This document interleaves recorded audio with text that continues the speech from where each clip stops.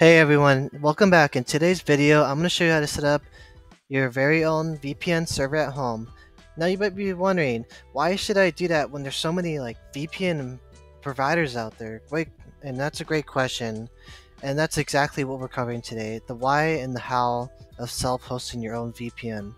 Let's start with the why. Hosting your own VPN gives you a secure remote access to your own home network.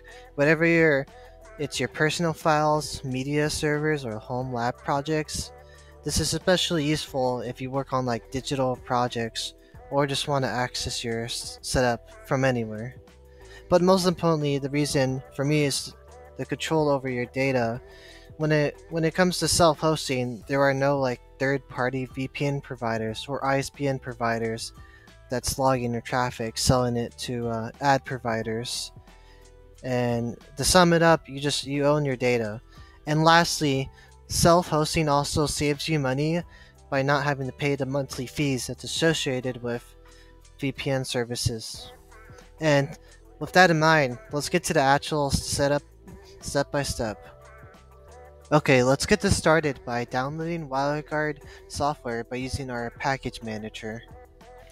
Note, throughout this video, we will be setting up a VPN service which is similar to online providers. Now we're going to start generating the public and the private key for the server. The public key will be given to the client to encrypt the data, and the private key on the server will decrypt the data as it's transferred from the client to the server.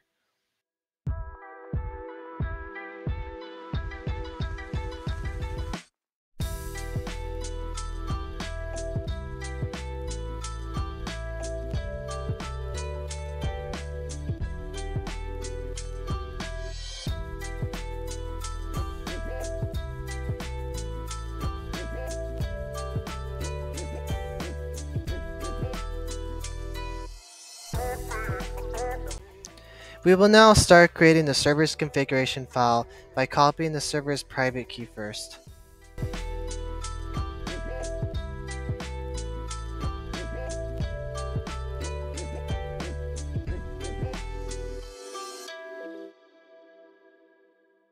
By this point, I've already generated the server's public and private keys. Now let's walk through the server's configuration.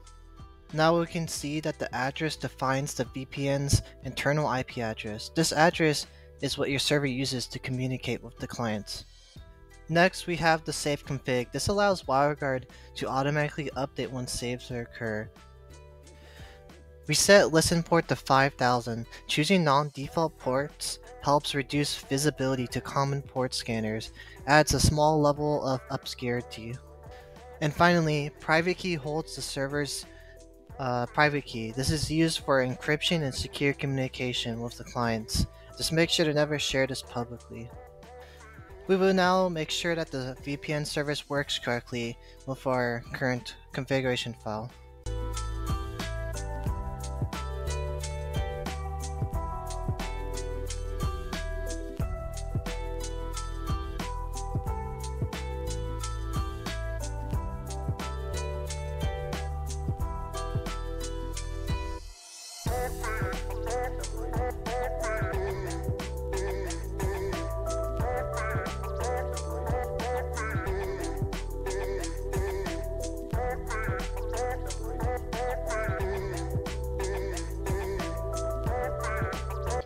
Now we're generating the client's public and private keys.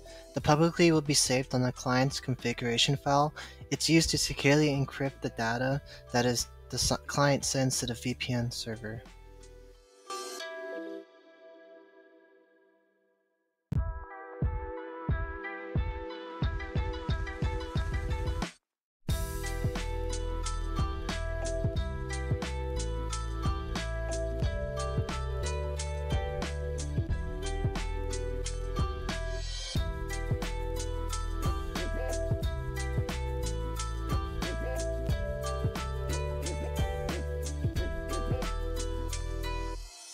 goodbye.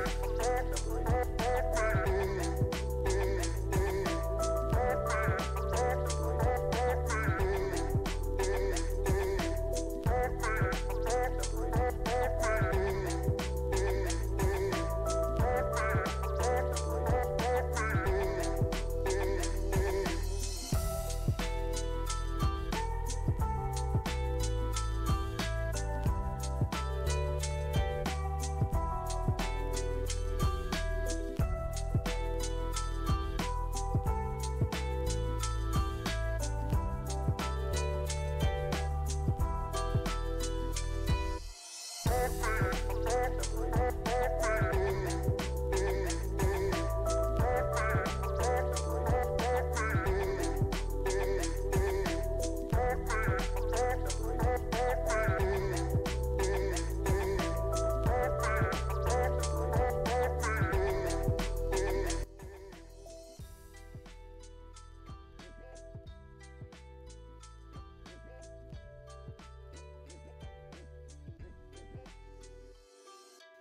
Now let's take a look at this client's configuration file.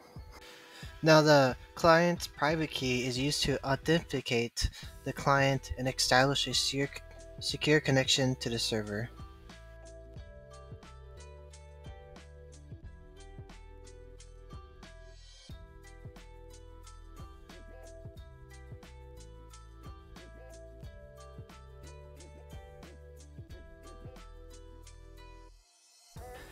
The address under the interface is the IP address the client will use to communicate over the VPN. Think of it as the identity of the VPN network. The DNS field lets the client resolve domain names. I'm using Cloudflare DNS here since it's fast and secure. The public key, the server's public key to be exact, is used to encrypt the data during the handshake process, allowing the server to off and establish a secure connection. The allow IP setting tells the client that the traffic should go through the VPN. Setting it to our example of the zeros will route all the traffic through the VPN, just like a commercial VPN service.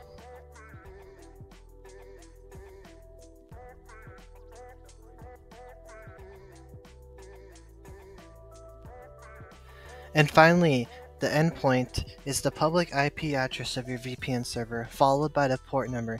This tells the client where to connect.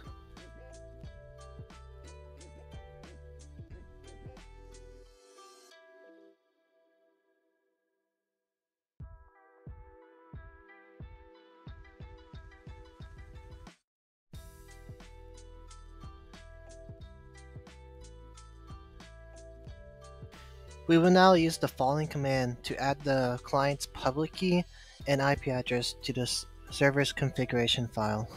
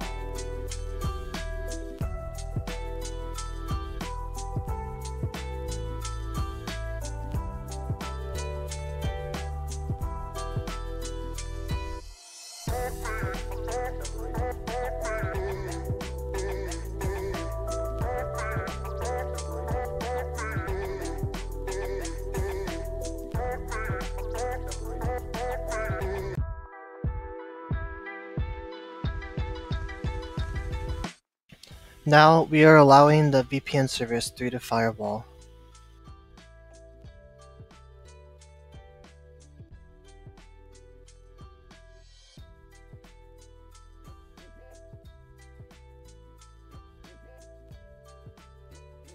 Now that we set up our VPN server and client client configuration file, our next step is to set up IP forwarding. This lets the server forward traffic it receives from the VPN client out to the internet.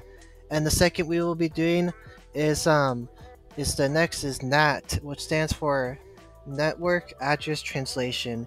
It rewrites the outgoing packets from the VPN client so they look like they're coming from the VPN server real IP address and not the private VPN address. This is important because the internet cannot respond to the VPN's pr private address as they don't understand it.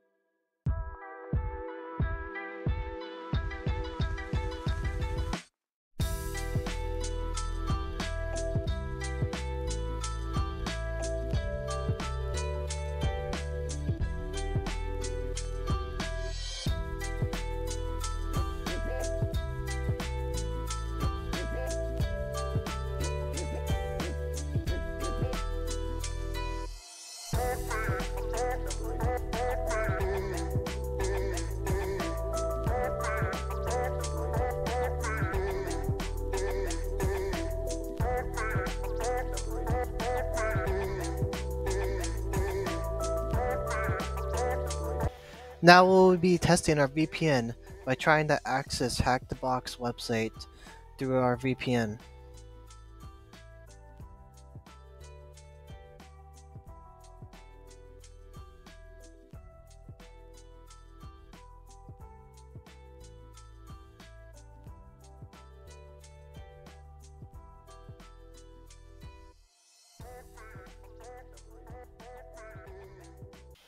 And don't forget to forward the port that you're using for your VPN service, as that's the most crucial part of accessing your VPN over the internet.